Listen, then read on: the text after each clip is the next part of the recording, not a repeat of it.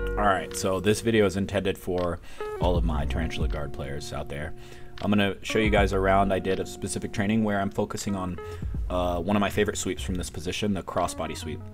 So the way I'm choosing to enter Tarantula Guard in this uh, scenario is I'm, I'm playing Spider on one side and Lasso on the other.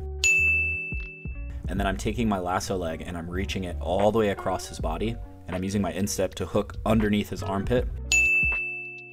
almost like I'm leg dragging myself, but the the spider on that side and the armpit hook kind of work together to pinch his arm, and uh, it encourages him to, to lean against it like a leg drag, which you're gonna see right here.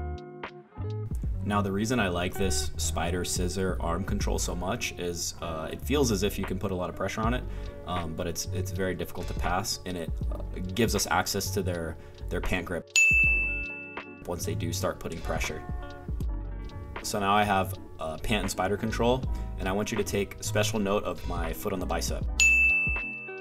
It seems intuitive that you would directly bring them across your body, but in order to break their balance and, and load their weight on top of you, you need to use the foot on the bicep to bring them above your head first. And if you watch this uh, next part right here, you're gonna notice Andres's uh, feet leave the floor for a second because my foot on the bicep is is directing him above me, and then I'm starting to use that hand that's controlling his pants and my foot in the bicep and the the kind of uh, shield I have with my free leg to bring him across me and actually get the full off balance.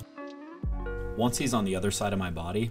um, his weight should be off of me enough that I can switch my right pant grip to like an overhook, kind of like I'm going for an ankle lock almost, and build myself up uh, to a single leg. And it's going to be this thing where he's going to be trying to push his weight back on top of you,